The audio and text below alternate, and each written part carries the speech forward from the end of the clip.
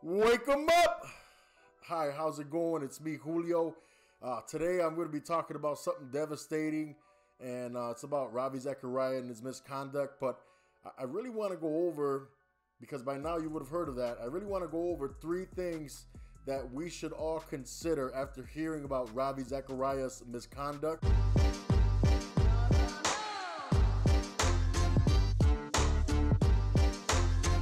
Hi, welcome to our channel on Wake Up Ministry. If you haven't already, please subscribe. Please consider it, and also hit the notification button because uh, we're gonna have new and upcoming videos every week, every Thursday. So please join us. Today, I want to talk to you about three things that we should all consider after hearing about Ravi Zacharias' misconduct. And first of all, before I even go to those three things, consider this: whenever there's uh, adultery or uh, something involving sexual relations uh, whether you're a Christian, you know, or not, you know, there's obviously there's there's some issues going on, right? So you could be in jeopardy of losing your marriage. You could be in jeopardy also uh, your testimony, the way you look, you know. So that goes for both for for non-Christians and Christians, but even more for Christians you know, like, uh, do I take what Ravi Zacharias was teaching? You know, what should I do? You know, he was involved in this and for how long? And all the details, I don't know it all. You know, I don't think it's it's all out there. But I, I will say this: listen, we have to look at ourselves and and say, what could we do to not fall under the same traps? What could we do to not do the same? And so I want you to consider um, these three guardrails that I call. Uh, and what I mean by a guardrail is you think of yourself driving and you think of these guardrails that are there. And usually, like if there's a cliff or something, there'll be some guardrails around the side as you're driving. And those guardrails are put in place so that you don't go over, or that if, when you tap it a little bit, you're like, oh, wait a minute, I'm getting too close to the cliff. And so you don't want to go over that cliff. You know what I mean? The same thing with the temptations, you know. Um, we we, we got to put up some guardrails so that we don't fall over and into temptations like that. And so the first guardrail I want to go over is possibly considering, and this is something that I practice myself, is um, putting covenant eyes on your devices, whether it be your cell phone, your laptop, um, any devices, iPads, and smart whatever whatever you got you know that could access internet i really really want you to consider putting in some type of security like covenant eyes um, and so go to covenanteyes.com and you'll be able to see that but also i, I want to say this too this is what jesus says okay because some people teeter totter about the whole thing about porn and so, is it a sin? Is it not? Is it right? Is it wrong? And so, when we look at scripture, what does scripture say about that? Jesus says this on Matthew chapter 5, verse 27 and 28.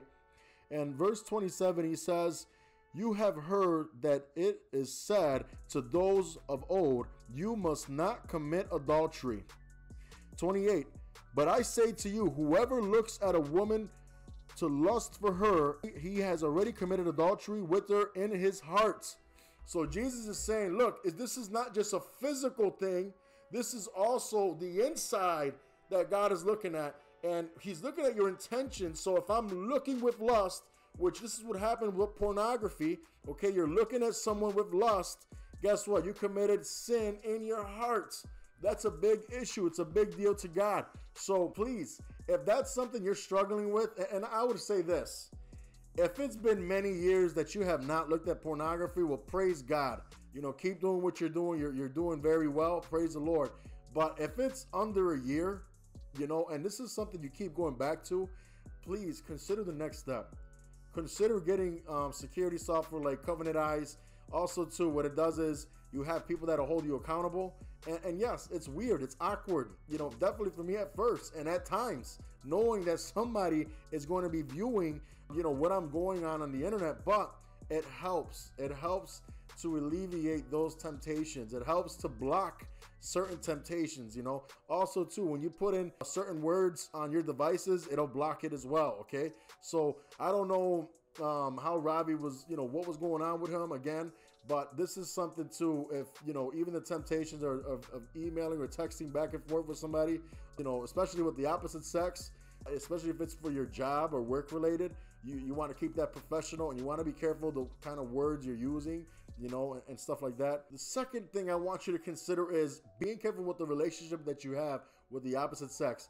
And the reason being is this all it takes is one time, one slip up, one mistake, you know, in this area, okay? And so we have to be careful. We got to be on guard on what we say, what we do, and the way we carry these relationships. And so for myself, what I like to practice is if, you know, I, if, if I'm going out on a ride or somebody needs a ride, if it's a woman, uh, I'm not to do it unless she's like way older than me, uh, unless it's a family member. Uh, that's something different. Uh, obviously, my wife, I'm gonna go, you know, go with my wife anywhere.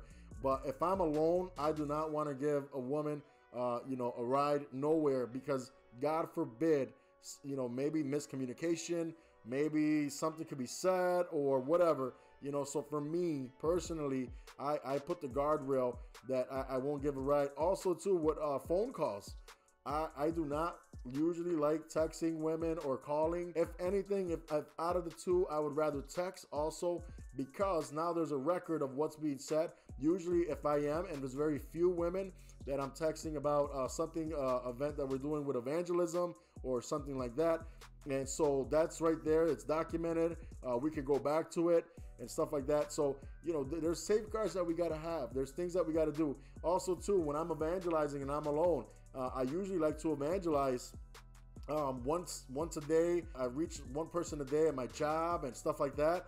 And so when I'm on my breaks and my lunch, I usually do not like to talk to a woman alone. Okay, and so just because as a precaution, you know, miscommunication, uh, something could be taken the wrong way, or there could be some type of temptation, whatever the case. Uh, usually, what I like to do is if there's uh, at least two women or a man and a woman, and I love to engage there. Or when we're out and evangelizing as a team, there's men and women. And so if there's a woman alone, it's okay because now I'm with two or three or a few Christians and we could go ahead and evangelize. So uh, please use wisdom on that. Number three, I want to say is, you know, consider not traveling alone. For certain jobs, that's tough, you know, but for ministry, you know, I'm already set it in my mind and my heart. Um, usually, what I do is uh, I either go with my my wife or there's other men of God that go with me. I do not want to travel alone, you know, especially uh, distance or far. I don't want to stay in a hotel alone. And I think too that again alleviates a big time, uh, you know, big time issues. I believe, you know, that could possibly happen. And this is another thing too. It's real easy. Say you got Covenant Eyes on your phone. When you're at a hotel, guess what? You got the TV right there, or you know, you got computers or whatever that are there. And God forbid, now those temptations are there too and you know again this is if, if this is for me thinking and you know coming from my background uh, these are things that i know that i want to stay away from you know what i mean and and so for me we have to look at these uh, possibilities of what can happen and say lord uh, give me the wisdom and let, help me to think about this now because i don't want to fall into temptation and sin and guys listen uh, please let's pray for each other, especially when it comes to stuff like this. Uh, it could happen to anyone. All right, there's been many pastors, people in the Bible uh, that these things have happened to, you know. And so, also though, I think this is the time we have to take to take into consideration what we can do to stop these things, to prevent these. Also, please leave a comment on some ideas on you know what we can do as the body of Christ. What could we do to you know prevent certain temptations? You know, to put guardrails. What other guardrails do you think that you have in mind that we could use? And tell me, you know, also too, what has worked, what hasn't worked. You know, so please leave a comment about that. Please uh, subscribe to our channel if you haven't already. And we thank you for joining us. God bless you. We'll see you in the next video.